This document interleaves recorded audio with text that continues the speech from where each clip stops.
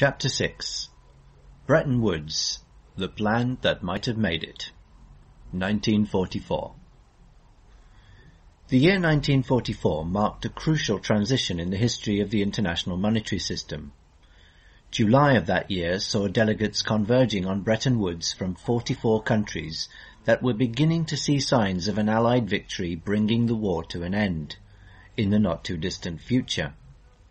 Weighing on their shoulders and indeed on those of the whole world, were not only five years of war, but also ten years of equally worldwide depression, plus another ten years of speculative and inflationary excesses and turmoil generated in turn by the contradictions that had emerged in the wake of the First World War. The stakes were dauntingly high. The mistakes made at the end of the First World War were to be avoided at all costs, the curtain was to be brought down on thirty years of hostility and purblind nationalism, also at the economic level, and the foundations were to be laid for the rebuilding of international trade so as to usher in a new age, one of peace and prosperity, comparable with the image still cherished by all, that of the thirty-year period preceding the assassination at Sarajevo. The response proved as historic as the task ahead. The Bretton Woods Conference was the first and, so far, the only occasion when the rules for international payments were expressly agreed upon and established by common consent. As we've seen in the foregoing chapters, the results fell short of the noble ambitions. The Bretton Woods system was to last a mere 25 years, from the Savannah Conference of 1946, which ratified the agreements, to the speech delivered by Nixon in 1971, which effectively brought them to an end. But not even those 25 years ever saw the system fully in force. The fundamental rule of convertibility was at last adopted by most of the countries only when, and thanks to the fact that, another fundamental rule, providing for controls over capital, was effectively bypassed, with the emergence of the euro-dollar market. Nevertheless, those were at least 25 years of prosperity, if not of peace. Now not only regretted as a sort of second Belle Epoque, but actually stretched out into the glorious thirty. Historians concur, however, in attributing the economic growth of this period to the financial flows running outside the Bretton Woods system along the channels mapped out in the two preceding chapters, far more than to the financing mobilized by the World Bank and the International Monetary Fund, precisely the institutions designated at Bretton Woods with the purpose of promoting reconstruction and the revival of trade. The aims of the new system were set in the first article of the agreement in these precise terms. To facilitate the expansion and growth of international trade, to promote exchange stability, and lessen the degree of disequilibrium in the international balances of payments of members and yet the path effectively taken on a global scale over the following years, that of bypassing the rules laid down by the agreements through massive capital movements denominated in dollars, did in fact lead to the objective of growth, but at the expense of the other objectives. Over the same period, the European Payments Union testified to the possibility of supporting the free expansion of international trade by radically different means, thanks to which it was feasible not only to maintain the convertibility of exchange rates together with the equilibrium in the balances of payments, but also to achieve these two objectives starting out from a situation of market instability and disequilibrium. One cannot help wondering whether it wouldn't have been possible to devise a system of regulations on the model of the European Union of Payments, but permanently and on a worldwide scale thereby avoiding the need to resort to that source of liquidity and of disequilibria opened up through the adoption of the dollar as international currency. Actually, a system of the sort not only could have been devised, but effectively was devised with the precise purpose of drawing up the economic rules in the post-war years. This was the International Clearing Union, engineered by Keynes on behalf of the British government in the course of the bilateral negotiations with the United States that began in 1942 and culminated with the Bretton Woods Conference. As we know, it was, however, the American plan that found its way into the final text of the agreements. We also know the reason customarily invoked to explain why this was so. At the end of the war, the United States was so powerful as to be able to bring its own interests to prevail, not only over the countries that were eventually defeated, but also over the countries that, thanks to US intervention alone, had emerged victorious. And yet, in the light of the course of events that followed, we cannot but wonder whether the American policy was long-sighted enough to be able to weigh up the country's real interests. In 1947, US unilateralism might have been worth the $4 billion a year of the Marshall Plan, but over 60 years later, is it still worth America's $800 billion a year current account deficit? Or had such a price actually been anticipated? Keynes's plan merits re-evaluation, not by the yardstick of British interests, but in the prospect also of America's real advantage. It was in fact in the interests of the United States that Keynes urged the need for a clearing system. Only with a system conceived in these terms would it be possible to answer to the interests of both the creditor and debtor countries, setting in motion a mechanism that would literally bring them to converge towards a common position of equilibrium. Before examining this mechanism in detail, it's worth rereading the passage quoted in part 1 where Keynes describes its advantages. Quote, a country finding itself in a creditor position against the rest of the world as a whole should enter into an obligation to dispose of this credit balance and not to allow it meanwhile to exercise a contractionist pressure against the world economy and, by repercussion, against the economy of the creditor country itself. This would give, and all others, the great assistance of multilateral clearing. This is not a Red Cross philanthropic relief scheme by which the rich countries come to the rescue of the poor, it is a piece of highly necessary business mechanism which is at least as useful to the creditor as to the debtor. According to Keynes, the international payment system should be constructed in such a way that the international creditor position of one country, that is, a credit, be bound together with an obligation, literally, a debt.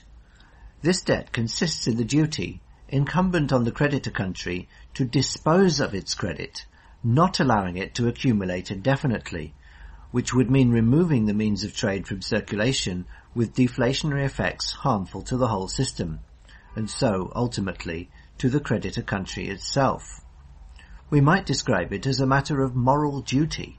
In this sense, we used the term in the previous chapter.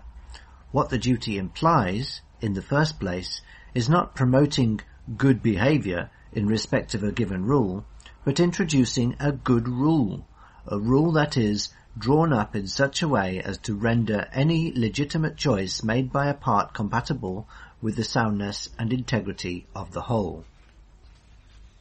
In fact, Keynes immediately went on to point out that the reference here to the creditor's debt had no implications in terms of individual morality, it was not a matter of appealing to the goodness of an individual creditor country, for example the United States, to agree to reduce its credit by any act of unilateral generosity, for example through an aid plan, inspired by some philanthropic or humanitarian aim, for example to defend freedom around the world.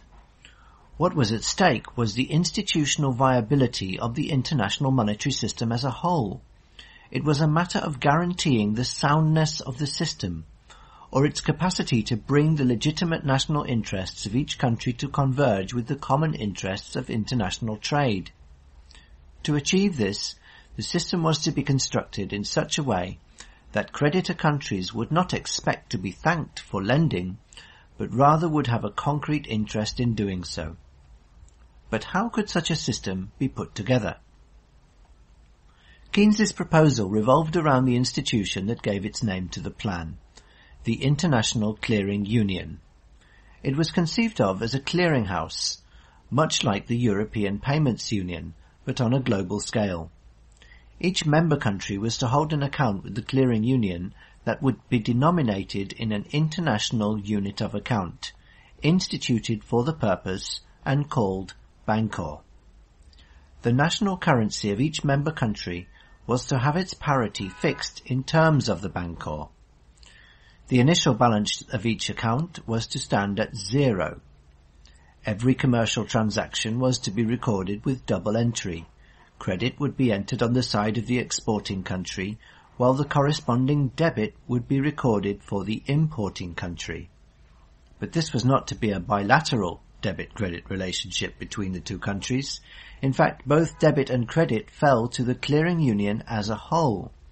This meant that the exporting country could use its credit to pay for imports at any time and from any other member country, while the importer could pay its debts with the proceeds from exports made at any time to any other member. Thus, the clearing union would provide for continuous multilateral and intertemporal clearing of credit, exports, and debit, imports. For each country, the balance would always correspond to its net overall balance of trade, positive in the case of surplus, negative in the case of deficit, while the balance of the clearing union as a whole would always remain at zero. For this reason, the clearing union has in principle no need of any initial endowment of money in the form of a deposit, capital or reserve. So far, however, there seems to be little to distinguish the clearing union from a bank. Indeed, in describing the system, Keynes made it quite clear that his source of inspiration lay in the mechanisms for the creation of bank money. Just like a bank, the clearing union created money at a simple stroke of a pen, offering advances that were not necessarily covered by the equivalent amount of deposits. Indeed, having no deposits or reserves in any form, the clearing union would supply credit without any monetary base and it could be said to create money from nothing. This is why many critics denounced Keynes's proposal as inflationary. It is a charge that merits serious attention, not because it is well grounded, but because the many objections that can be raised against it bring to the fore as many characteristics peculiar to Keynes's plan. To begin with, it is well to clear the field of any idea that Keynes might have been ideologically in favour of inflation regardless. That his recommendations were mainly of an expansive nature is unquestionable, but this was only because he was living in a period marked by deflation, which he set out to tackle by every means that might serve the purpose. Keynes waxed sarcastic against the dogmatism of those who made monetary rigour a matter of orthodoxy. Quote, to be sometimes in favour of dearer money and sometimes in favour of cheaper money seems to them like being sometimes a Protestant and sometimes a Roman Catholic. The line to be taken in monetary policy was, for Keynes, a practical choice that depended on the circumstances. In the years that saw him drawing up his plan for Bretton Woods, his main preoccupation was that money might be wanting after the war and not abounding. It was for this reason that, unlike Rueff, Keynes opposed any return to gold, no matter what form it might take. It was not an inflationary consideration that guided his plan, but an anti-deflationary one, which moreover he made perfectly clear. Quote, the plan aims at the substitution of an expansionist in place of a contractionist pressure on world trade. More precisely still, for Keynes the purchasing power to be put at the disposal of trade was to be neither great nor little, but commensurate with the availability of goods to be traded at any given moment. Hence, in his project, he pegged the creation of international money on the commercial transactions effectively undertaken, which meant that the money Keynes had in mind was not created from nothing, but followed upon trade in goods. At the same time, and precisely for the same reason, the money created as bancor, asset in favour of a country in surplus, is by the same token destroyed whenever that country reduces its credit position by importing. In accordance with the definition Keynes had already provided 20 years before, the money created in the clearing union is a mere intermediary without significance in itself which flows from one nation to another, is received and dispensed, and disappears when its work is done, from the accounts of the clearing union. If every country were to bring its balance of trade to equilibrium, then every balance would return to zero, the creation of money being entirely reabsorbed, having served solely to provide for the transfer of goods among all the participating countries. In other words, for an increase in real wealth. Within the clearing union, the balanced budget was not to be a merely ideal situation that could be departed from indefinitely by accumulating increasing credit and debit balances, as was feared by critics, who read an intrinsic inflationary bias into the proposal. On the contrary, the balanced budget was to be the concrete situation from which the members of the clearing union set out to begin with, and from which they could not depart beyond certain limits, and to which, above all, they were constantly led back. The countries in deficit would certainly not be entitled to go on piling debt upon debt indefinitely, but they would have to contain the debt within the quota set for each country in proportion to the volume of its foreign trade. Moreover, within these limits, countries would also have an incentive to reduce their debit position, being subject to a charge proportional to their debt. With the clearing union, debts can be run up freely, but not free of charge, nor without limit, nor indeed for any purpose whatsoever. Nevertheless, the mechanisms we have so far described for the clearing union still resemble those of any commercial bank. Unlike a commercial bank, on the other hand, the clearing union still shows what appears to be a shortcoming, making provision for no form of reserve or guarantee. But what should the clearing union guarantee to its creditors? Unlike the depositors of a commercial bank, the creditor countries of the clearing union have no right to draw anything from their accounts. On the other hand, however, they have, they have made no deposits either. Their credit has matured within the clearing union through the trade that the latter has enabled them to perform, and in consequence of their decision to import less than they have exported. Moreover, the countries in surplus are free to make full use of their assets and can decide to spend them however they like and whenever they like. They come up against no restrictions to their purchasing power and they run no risk as long as there is something in the world to acquire. For all these reasons, there's no need to protect or compensate the creditor countries in any way. The need is rather to prevent them from carry on piling up their assets indefinitely, thereby exerting contractive pressure on world trade. This, in fact, is why assets are subject to the same limitations and charges as apply to liabilities in the credit union. Credit and debit alike are subject to the same negative interest. In either case, interest is paid to the clearing union as a management charge. This symmetrical charge on debit and credit alike was actually the most original and significant feature of Keynes' entire plan. At the institutional and at the operational level, the charge was justified by the need to ensure that the aim of each country would converge with their collective goal, in other words, with the aim of the Union, which was to bring the balances towards equilibrium, in other words, towards clearing. If balance of payments equilibrium was in fact the sole economic criterion, then the countries in surplus would be in a position of disequilibrium no less than the countries in deficit, and, like them, should be led to correct it. This equal treatment of credits and liabilities is the only guarantee the clearing union needs. It is in fact a stronger guarantee than any reserve constraint that might apply to the creation of money through leverage and liquidity.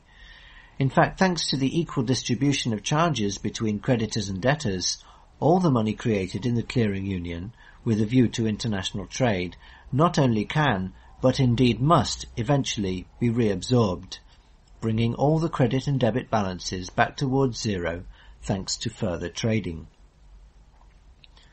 Despite all the provisions we have so far described, the case could still arise in practice of a country persisting in balance of trade disequilibrium. To cope with this eventuality, should a country's deficit or surplus exceed a certain threshold for a certain period of time, then the rules of the clearing union would grant the country in question the faculty to adjust its exchange rate within a 5% limit. Thus, for example, a country showing a sizable chronic deficit would be able to devalue its currency against the Bancor so as to regain competitiveness and bring its external accounts back to equilibrium without having to resort to deflationary measures, and thus with no prejudice to its internal equilibrium. In this way, thanks to the distinction between national and international currency, it would be possible to adjust the rate of exchange between the two, and with it, the ratio between the internal and external purchasing power of each currency. And given the possibility to adjust this ratio, equilibrium could in turn be pursued in the internal economy and in foreign trade at the same time, eliminating any contrast between the two objectives, which would thus prove compatible. Moreover, with the unequivocal definition of disequilibrium in external accounts, in terms of a significant and persistent departure from equilibrium, and with the precise measurement that could be made of this disequilibrium on the evidence of the clearing union accounts, there would be no risk of the arbitrary use of the scope for regulation offered by the system of adjustable exchange rates. On the strength of this consistent set of rules, the clearing union was conceived of as a financial instrument for international trade, eminently apt for the fundamental task required of credit as defined in Part 1, namely to provide an advance against future payment. Having now looked into the essential mechanisms driving it, it's worth recapitulating at this point the implications of the clearing union for the fundamental components of the financial relationship as they emerged in Part 1. 1. The connection between advance and settlement. 2. The relations between the monetary functions. 3. The distinction between money and goods. And 4. The connection between the national and international economy. 1. The clearing union is geared entirely and solely towards providing overdraft facilities for trade in goods between countries against future settlement. Balance of trade equilibrium is central to the Union as its starting point and constituent law. It is this rule that makes it into a clearing union. Literally that is, a union for the balancing of all accounts, the clearing of all positions. In virtue of this role, the clearing union was to take on the form of an international economic space created to enable, according to Rueff's formula, the meeting of all the creditors with all the debtors. Precisely because it was to be made the governing principle of the clearing union, balance of trade equilibrium could also be identified with the long-term tendential equilibrium seen not as the ex post outcome of short period interactions, but rather as the horizon towards which they would be moving.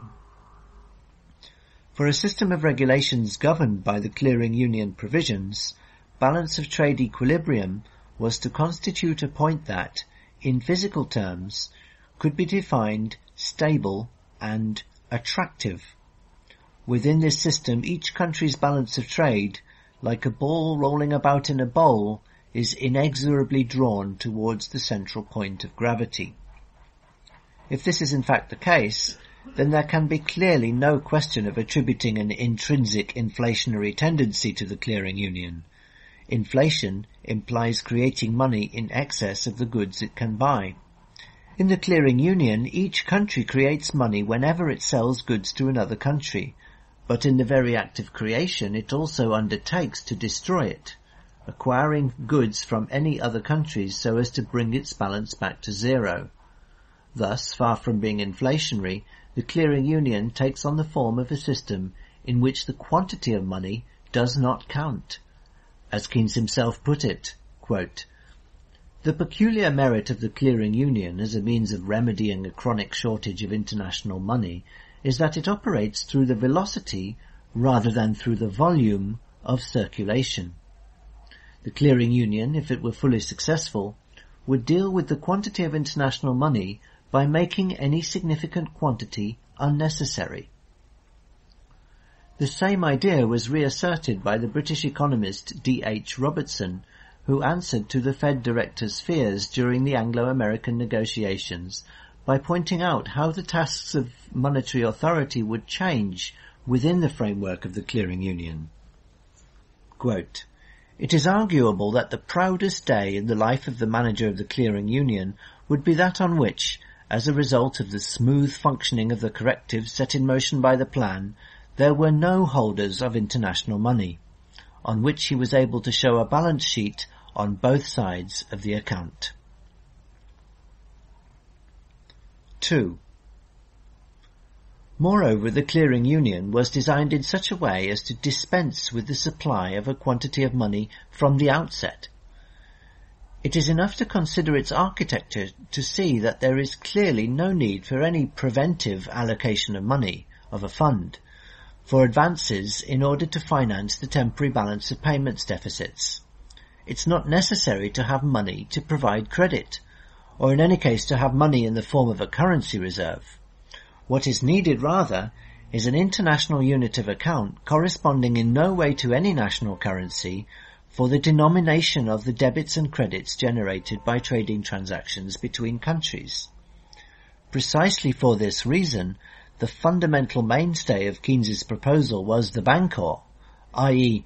international money of account, purely abstract, immaterial, or to use the terminology of a very old system to which we will be returning later, imaginary.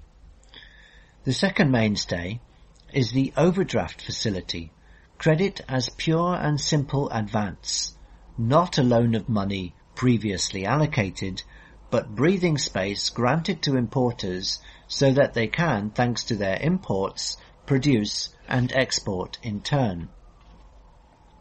On the one hand then, the credit granted by the clearing union to its member countries depends upon this money as international unit of account. On the other hand, however, the credit can be spent at any time and for any end, and is therefore to all intents and purposes money, in the sense of a means for international payment. Thus, the money created by the clearing union, consisting of credit balances in bancors, could be considered and used as a means for international trade, but not as a currency reserve, for it could not be conserved indefinitely. Ultimately, payment must be made with goods, and with goods alone. Anyone holding money in the form of credit balances in bancors is under the obligation to spend it. This money, therefore, given the rules that govern its functioning, incorporates the most fundamental characteristic of money, it is money made to be spent, bearing with it the constant reminder to those holding it that they must spend it, and thereby representing in concrete terms Keynes's idea of the creditor's debt. The country holding credit with the clearing union has a duty, not a right. In particular, it can claim no right of ownership, full and exclusive, over its credit balances and bancors. In this respect, in the clearing union, no one is owner of international liquidity. Anyone holding money in the clearing union would be at the mercy of his neighbours, as Keynes aptly put it in describing the peculiarity of money in a transcript note to the tract. The country holding bancors is in fact beholden to the other countries as a whole, depending on them to transform that credit into goods. 3. The Clearing Union project incorporates all the more or less explicit indications that can be drawn from Keynes's theoretical work, spanning the 25 years from his first publication on the faults of the monetary system as we know it, and on the characteristics of the money system as it ought to be. It is beyond our scope to trace out in detail the theoretical foundations of the Clearing Union in the corpus of Keynes's writings but there is at least one element worth mentioning here.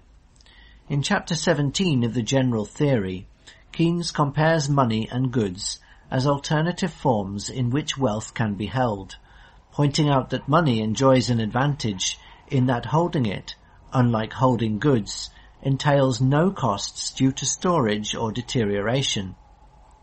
It is also on account of this advantage that money can take on the function of a store of value. It can in fact be withdrawn from circulation indefinitely, with consequent deflationary pressure on trade and production.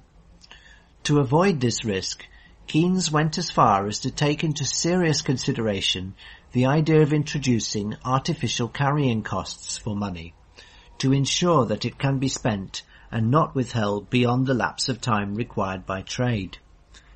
In the closing chapters of his major work, Keynes again raised the possibility of such a scheme as a decisive step towards exit from crisis, praising the heterodox economist Silvio Gesell, the first one to have devised and experimented with forms of stamped money.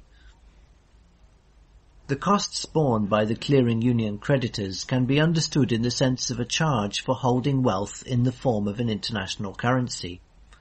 Given these costs, the bancor is in fact money subject to artificial carrying costs, that is, money that cannot be held as a store of value. It has to be spent within a certain period of time, and insofar as it is not spent, it is destroyed the unutilized credit balance of the creditor country diminishes periodically by a sum corresponding to the charge fixed by the clearing union. Thus the international currency ceases to enjoy the dubious advantage of being non-perishable, and the country will prefer to acquire goods rather than go on accumulating trade surpluses indefinitely. Nevertheless, the bancor would still have an advantage over a stock of goods. The advantage of not being subject to variations in price and of being immediately transformable into any commodity. This particular advantage, which Keynes called liquidity, constitutes the second reason for preferring the currency to goods as a way of holding wealth. And this too Keynes set out to avoid. The same years that saw him working on the proposal for the clearing union also saw Keynes airing a plan for the international stockpiling of raw materials and agricultural produce. The idea was to endow commodities with the liquidity they lack, exploiting them as a means of reserve that could even replace gold as the basis for the monetary system. The idea behind the two integrated plans was to encourage the holding of commodities rather than the accumulation of money, and the circulation of goods rather than of capital. This may have been the reason why Keynes placed less emphasis than the drafter of the American plan, H. D. White, on the expediency of bringing in restrictions on capital movements. His aim was not so much to bar capital movements, that is, movements of money as capital, liquidity, asset, store of value, as to make them less advantageous than the purchase of goods. 4. The institutions that Keynes projected for the post-war period were also specifically designed to make national and economic monetary policies as independent as they could possibly be of the exigencies of the external account. Here he seems explicitly to have come down in favour of one of the horns of Mundell's trilemma at the expense of the other two. For the sake of national autonomy, he was apparently ready to forego both fixed exchange rates and international capital movements. At this point, however, we have enough evidence to be able to see just what this renunciation meant and the particular form it took. Fixed exchange rates and capital movements are not ends in themselves. The former serve for international trade, ensuring firm standards of measurement. The latter serve for investments. Clearly, Keynes had no intention of limiting international trade or investments. In fact, he did not look to a flexible exchange rate system, but rather to one of fixed but adjustable rates.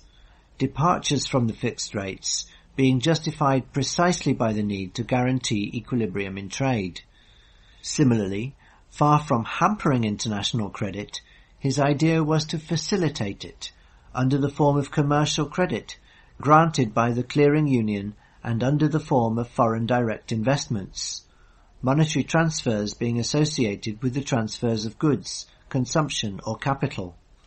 On the other hand, what the clearing union was decidedly closed to were portfolio investments, in other words, transfers of money as assets against negotiable securities. All this seems to have been quite masterfully designed, and above all designed to serve the purposes of all. So the question arising here, even more forcefully than before, is this. If the clearing union was such an expertly devised system, why wasn't it adopted at Bretton Woods?